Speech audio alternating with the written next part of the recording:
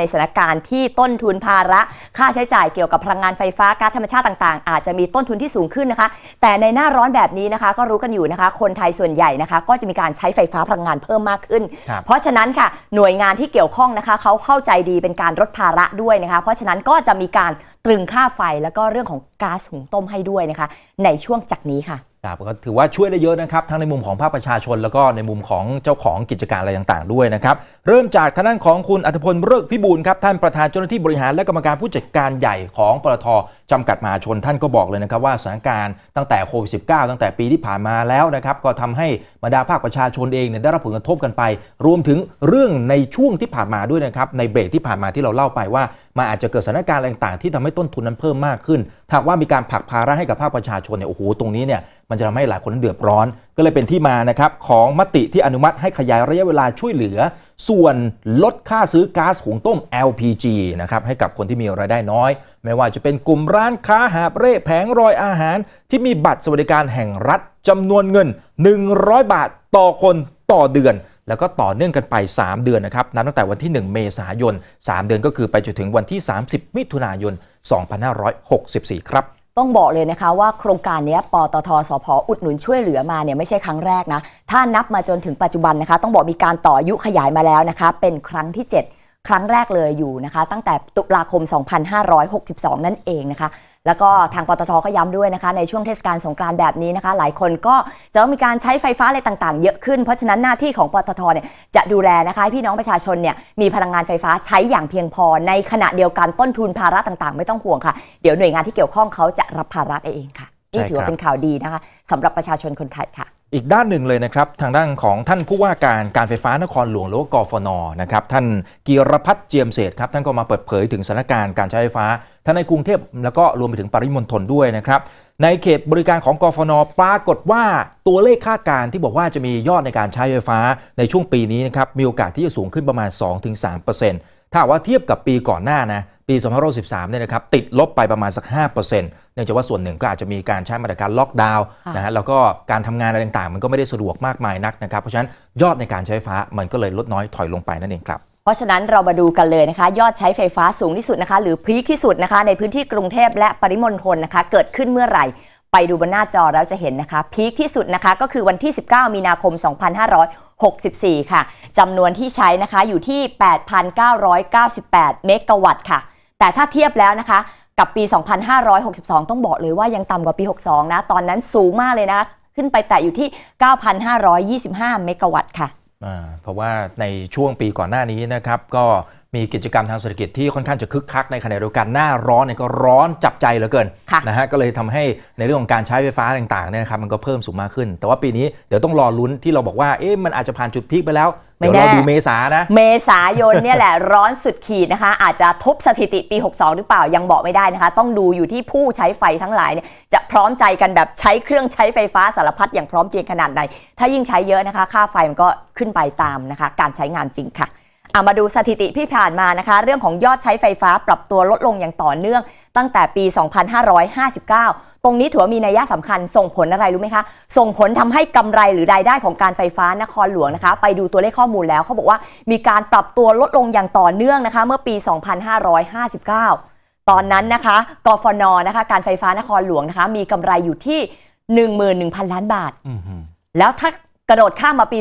2563 ดูสิโอ้ ทำไมกำไรมันหายไปขนาดนี้ค่ะ จาก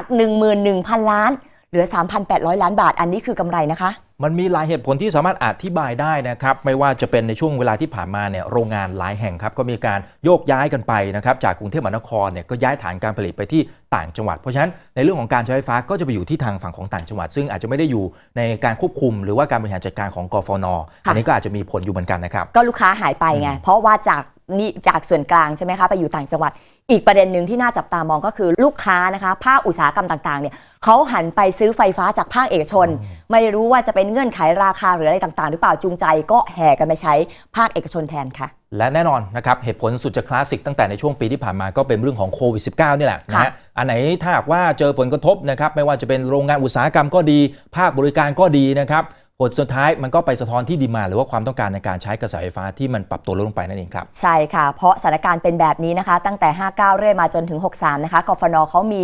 รายได้หรือกำไรที่ลดลงนะคะ ก็จะต้องไปหันในการพึ่งหรือหารายได้สร้างรายได้จากกิจกรรมอื่นๆนะคะล่าสุดเขาก็มีการปรับตัวเหมือนกันนะคะมีการเปลี่ยนแปลงตัวเองเหมือนกันนะคะก็จะมีการตั้งบริษัทลูกขึ้นมาดำเนินธุรกิจด้านพลังงานทดแทนเหมือนกันนะคะ ภายใต้ชื่อว่า MEA Smart Energy Solution นะคะ ขั้นตอนกระบวนการณขณะนี้ก็อยู่ระหว่างสนอขออนุมัติจากคณะรัฐมนตรีให้เห็นชอบในการจัดตั้งบริษัทได้ หลังจากนั้นก็คงจะมีการดำเนินการตามขั้นตอนต่อไปค่ะครับอ่าเอาละฮะ ทีนี้มาดูกันต่อนะครับ ในเรื่องของมาตรการในการลดค่าไฟฟ้า ที่ถ้าเบื้องต้นนะครับ มันก็กำลังจะสิ้นสุดลงในช่วงเดือนมีนาคม แต่ว่าอย่างที่เราเรียนกันไปก่อนหน้านี้นะครับ บอกว่าจะมีมาตรการออกมาช่วยเหลือเพิ่มเติม เบื้องต้นมาดู 3 มาตรการครับ มาตรการแรกสำหรับผู้ที่ใช้ไฟฟ้าบ้านอยู่อาศัยก็คือที่บ้านเราแหละนะฮะถ้าหากว่าติดตั้งมิเตอร์ไม่เกิน 5 แอมป์แล้วก็ใช้ไฟฟ้าไม่เกิน 150 หน่วยต่อเดือนนะรวมจำนวนทั้งหมด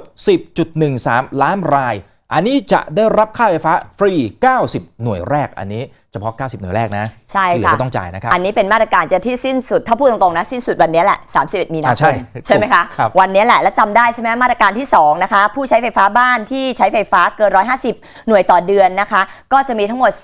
11.83 ล้านราย จะได้รับส่วนลดค่าไฟฟ้าในส่วนของหน่วยการใช้ไฟฟ้าที่เพิ่มขึ้นจากบินค่าไฟฟ้า ซึ่งเขาใช้ฐานของเดือนธันวาคม 63 เป็นฐานในการคำนวณส่วนลดด้วยนะคะ แล้วก็มาตรการที่ 3 ก็คือผู้ใช้ไฟฟ้าประเภทกิจการขนาดเล็ก ไม่รวมส่วนราชการหรือรัฐวิสาหกิจนะคะ แต่มีลักษณะเป็นที่อยู่อาศัยนะคะ ก็จะให้ค่าไฟฟ้าฟรี 50 หน่วยแรกทุกราย อันนี้คือ3มาตรการที่เราได้รับกันมาแล้วจะสิ้นสุดวันนี้แหละ 31 มีนาคม แต่จะได้ต่อแบบนี้หรือไม่อย่างไรนี่ก็ต้องรอรุ้นกันต่อค่ะครับแล้วก็ดูเหมือนจะมีข่าวดีนะครับ เมื่อล่าสุดทางด้านของกกพสำนักงานคณะกรรมการกำกับกิจการพลังงาน ก็ได้มีการประชุมไปก่อนหน้านี้แล้วนะครับ แล้วก็มีมติอย่างน้อยๆ คือให้ตรึงค่าไฟฟ้า ผันแปรหรือว่าค่า FT กันไปก่อนนะครับสำหรับการเรียกเก็บค่าไฟฟ้าในรอบเดือนพฤษภาคม ไปจนถึงเดือนสิงหาคม โดยเบื้องต้นนะครับก็จะมีการเรียกเก็บที่ลบ 15.32 สตางค์ต่อหน่วยครับก็จะส่งผลทำให้ผู้ใช้ไฟฟ้า ยังคงต้องจ่ายค่าไฟฟ้าเท่าเดิมอยู่นะ อัตราคือ3บาท61 สตางค์ต่อหน่วย อย่างนั้นก็คือต่อไปอีกประมาณสัก 4 เดือนครับ ใช่ค่ะ อันนี้ช่วยได้นะคุณอีกเพราะว่ายิ่งถ้าเรามีการใช้ค่าไฟเยอะๆ มากรวมกันปริมาณเยอะโดยเฉพาะหน้าร้อนในการใช้ไฟเยอะ มันก็จะมีผลนะคะต่อค่า FT ในการที่จะมาคำนวณค่าไฟแล้วเราจะต้องจ่ายแพงขึ้น การที่ภาครัฐมาตรึงราคาแบบนี้นะคะ นั่นแปลว่าภาครัฐหรือกฟนเขาต้องมีเงินอุดหนุนด้วยนะสำหรับโครงการนี้เขาใช้เงินในการอุดหนุนรวม 4 เดือนนะคะ2,610 ล้านบาทค่ะใช่ครับอันนี้เป็นการช่วยแบ่งเบาภาระของพี่น้องประชาชนอีกรูปแบบหนึ่งค่ะ ใช่ครับซึ่งถึงแม้ว่าในช่วงที่ผ่านมานะต้นทุนในการผลิตกระแสไฟฟ้าจริงๆมันเพิ่มมากขึ้นด้วยนะครับไม่ว่าจะเป็นเรื่องของตัวก๊าซธรรมชาติ หรือว่าบางส่วนก็มาจากตัวพลังงานเช่น ราคาน้ำมันดิบนะครับที่ยังคงเพิ่มขึ้นอย่างต่อเนื่องเลยนะครับก่อนหน้านี้เองเราจะเห็นนะครับว่าราคาในช่วงปีที่ผ่านมาเนี่ยค่ะมันอาจจะมีบางช่วงถ้าเป็นตัวตลาดฟิวเจอร์ติดลบ อันนั้นก็ดราม่าไปรอบหนึ่งค่ะแต่ตอนนี้พอกิจกรรมทางเศรษฐกิจมันเริ่มฟื้นเนี่ยนะครับ ปรากฏว่าราคาน้ำมันกลับมา